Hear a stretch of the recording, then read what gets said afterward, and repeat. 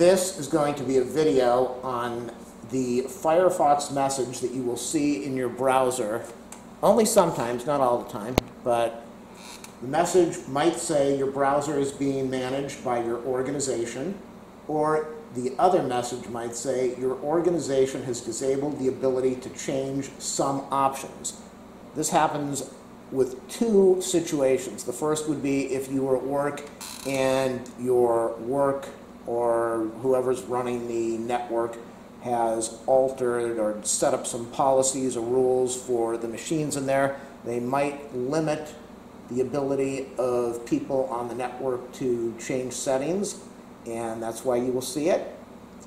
Or other times, if it's a personal machine at home and you see that message, chances are a program has altered the setting. Um, Avast antivirus and a lot of antivirus programs do this. It's very common for them to do this. So I'm going to show you a couple ways to deal with this.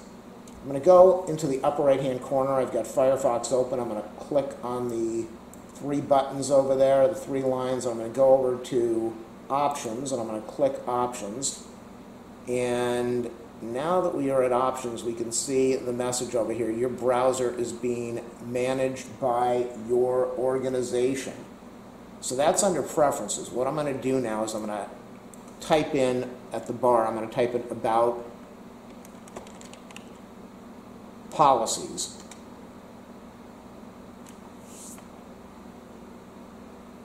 And it would help if I, I'm, what I'm going to do is I'm going to go into the top and type policies, P-O-L-I-C-I-E-S.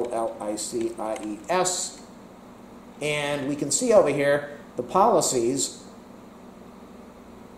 are certificate import enterprise roots is true. That is the policy that is causing this problem. Now another thing I'm going to do is I'm going to go up at the top over here and I'm going to type in about and then the, uh, the colon and then config. Now we're going to get this message, accept the risk and continue. There are a ton of message, uh, there are a lot of settings in here that can completely screw your Firefox up. So unless you know what you're doing, don't change any of this stuff. If the video helps you out, please do a thumbs up, a subscribe, a like, a share, a comment. You know all the stuff us YouTube people say. Um, if you want to support my channel, you can do that like. You can ask for my PayPal info if you want to leave a donation. Or if you shop on Amazon, just go over to my video description, click on the affiliate link in there right before you put in an order. It will take you over to Amazon. And then uh, once you put in your order, I'll get uh, just a little bit of uh, money as a thank you for being an affiliate. Okay, so what we're going to do now is we are going to go down and look at I could type it in over here where it's the security preference names, or I could scroll down. Let's do security, SE, so it will take me straight down to where I need to be. And we're going to be doing security.enterprise underscore roots space enabled. And so I want to do security dot.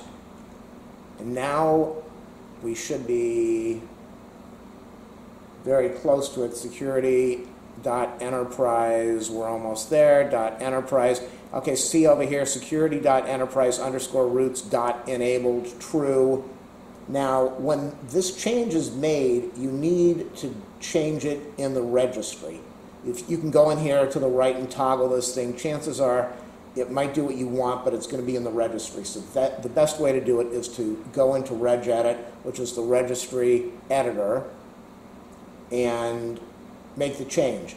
If you've never done this before, you just need to be warned. If you mess up with your registry, you could completely hose your computer. So if you know what you're doing or if you just watch what I'm doing, you should be fine. So what I'm going to do over here is I'm going to go click on the Windows button and I'm going to go over to Run and I'm going to type in reg, E-D-I-T. And I'm just going to press, you can press OK or press the Enter.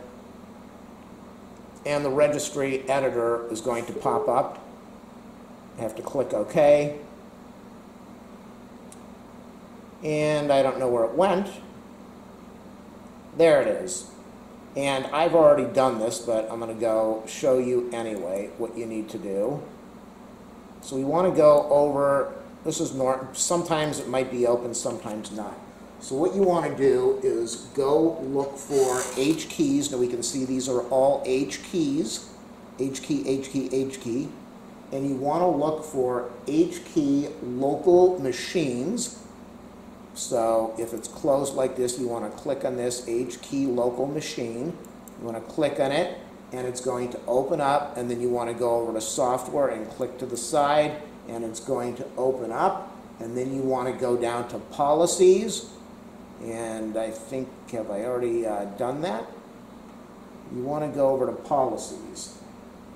Where it's software. Where is policies? Policies over there. You're going to click on policies and you are then going to go to Mozilla. And I've already opened these up, so let me close all of this so that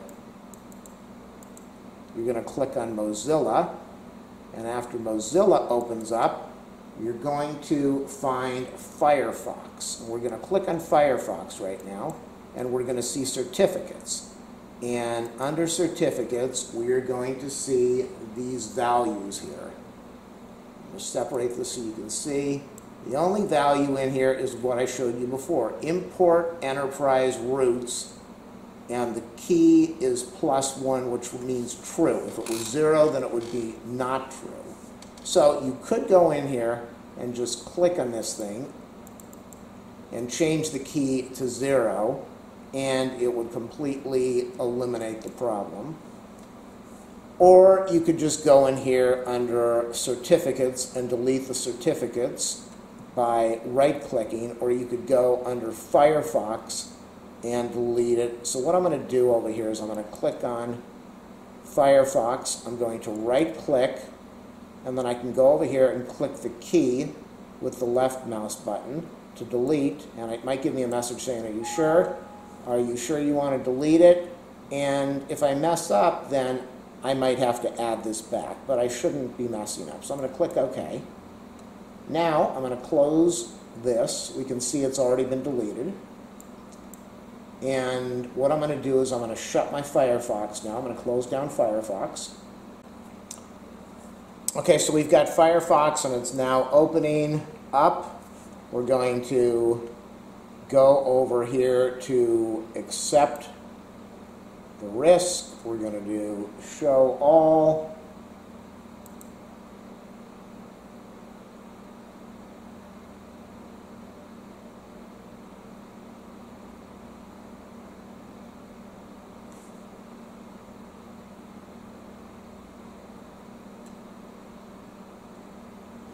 We are going to do the, uh, okay, it didn't like that.